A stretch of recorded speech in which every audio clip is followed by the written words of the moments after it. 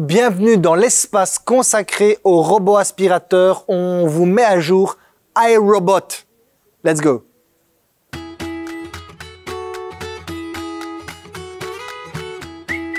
Bonjour à tous, Thomas de chez DefiTech, euh, espace dans le magasin consacré aux robots aspirateurs, plein de robots aspirateurs, c'est l'immense tendance dans les magasins. On va aujourd'hui parler d'un robot aspirateur qui s'appelle euh, aspirateur iRobot J7 combo plus, on n'y comprend plus rien parce qu'en plus ça change extrêmement souvent ces aérobots et même chez les autres, que ce soit en Samsung ou en Rowenta, on en a plein dans le magasin. Euh, effectivement, il faut quand même en parler un petit peu. En fait, d'abord, premièrement, années 90, plus ou moins, début des années 90, on parle des robots qui sont principalement euh, prévus pour, euh, non pas pour aspirer les maisons, mais pour détecter des mines, visiter des pyramides et même au World Trade Center, les robots aidaient vraiment. Donc en fait, l'idée que les robots nous aident dans la vie de tous les jours est depuis plus de 30 ans, c'est dans nos vies, et donc de plus en plus, ils étaient là. Et donc c'est logique qu'à un moment donné, ils arrivent dans nos maisons pour tout simplement nous aider. Voilà, on va faire simple. Aerobot, ben, en fait, la marque numéro une. La marque numéro une, pourquoi? Parce qu'en fait, ils ont pour le moment le meilleur système de cartographie. Alors, je vais vous montrer ça, bougez pas. Voilà, ils ont en fait une application. Hein. Voilà, une petite application ici. Alors, en hommage à ma sœur, le robot s'appelle Blanche-Neige. Chez ma sœur, il s'appelle Blanche-Neige aussi. Donc voilà, on a une application avec un petit mapping. On a fait simplement un petit, petit mapping de, du showroom. Voilà, comme ça, il sait exactement où il doit aller. Vous aurez votre maison complète. Il faut savoir que c'est relativement sécurisé. OK, ils ont des normes. Il faut respecter les normes. Les robots aspirateurs, ce n'est plus simplement des robots aspirateurs, parce que vous avez une génération qui était uniquement des moppeurs, uniquement des serpillères, et vous avez une génération qui n'était que des aspirateurs. Maintenant, vous avez un aspirateur, vous avez un moppeur automatique, Ok, donc vous allez me dire, bah oui, donc il va détecter la différence entre un sol, un tapis, un parquet. Il va le détecter lui-même. C'est-à-dire qu'à un moment donné, sur un tapis, il mettra pas son moteur, il va le relever. C'est ce qu'on verra un peu quand il fera toute cette programmation-ci.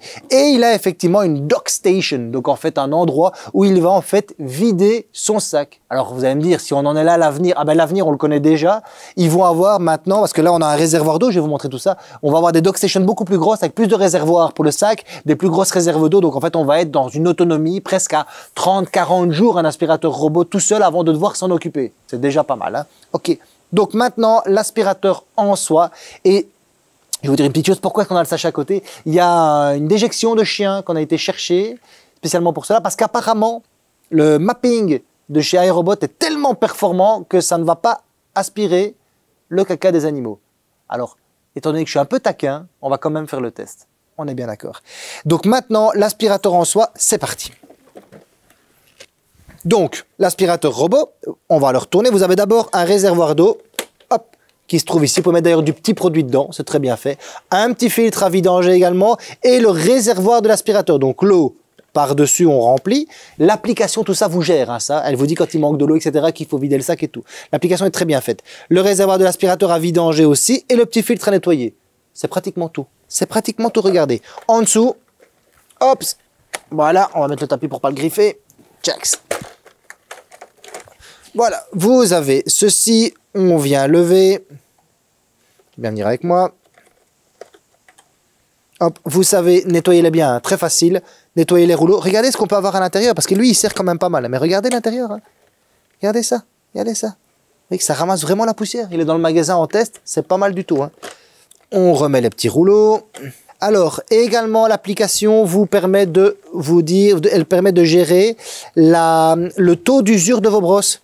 Ouais, quand les brosses sont trop usées, parce que oui, on le sait que très peu, mais... attendez, il faut que je remette ça dans le bon sens. On le sait que très peu, mais effectivement, les brosses, etc., ça se remplace sur ce genre de produit. Vous voyez, ces brosses-ci ne sont pas éternelles, ni les rouleaux. Et l'application vous, le, vous, dira à ce moment-là où chercher. Vous avez des détecteurs qui sont des anti-chutes, donc ça, ça ne peut pas tomber dans l'escalier. Et vous verrez avec l'application à quel moment il met en route le mopper. C'est extrêmement simple. On vient clipser tout ça. Premier démarrage.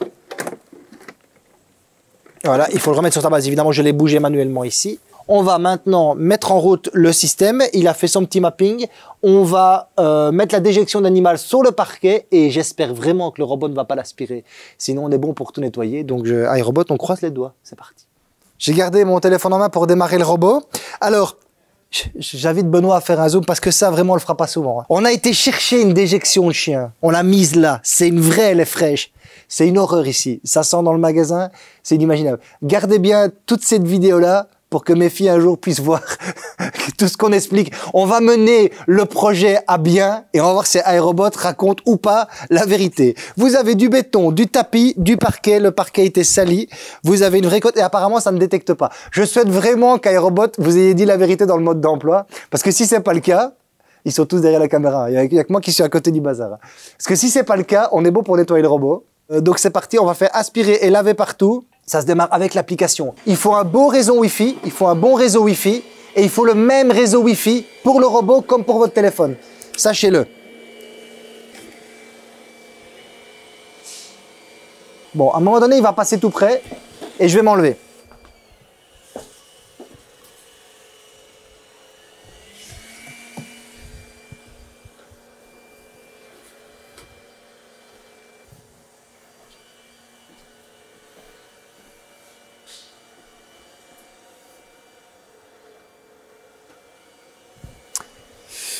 Vous avez vu ce qu'il vient de faire Comme il a son mopper qui est en route pour nettoyer à terre, il a détecté le tapis et donc il n'est pas monté complètement dessus pour pas abîmer en fait son petit mopper. Mopper qui vient là. Et quand il va monter en fait sur euh, le tapis, il remontera en fait son mopper. C'est ça en fait toute la différence avec ce type de robot.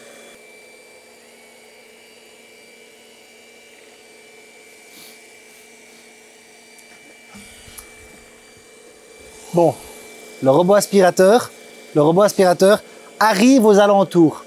Faut savoir qu'ici, tout le monde est mort de rire autour de moi en se disant est-ce que l'aspirateur va l'aspirer ou pas?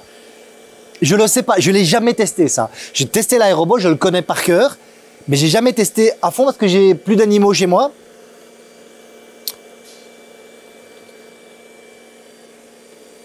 J'ai quand même l'impression qu'il tourne autour, moi. Il a quand même une caméra intégrée, le robot. Hein. Ok Donc, il est marqué clairement dans le mode d'emploi. Il est marqué dedans. Hein. Détecte les petits jouets, c'est ça qu'il est marqué, et les, les déjections des animaux. Une particularité, l'aspirateur de son bac principal est intégré.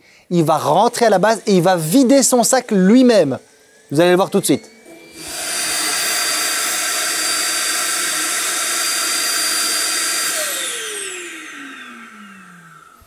Le sac principal se trouve ici et l'application vous indique quand il faut le vider. Conclusion, ça a fonctionné.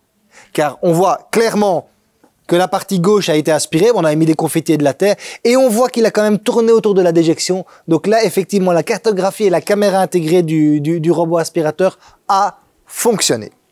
Alors pour la suite du test, nous avons enlevé donc la déjection canine, et on peut tout de suite voir que le robot a repris en fonçant directement là où il y avait la trace du chien, le petit oubli du chien, le petit cadeau.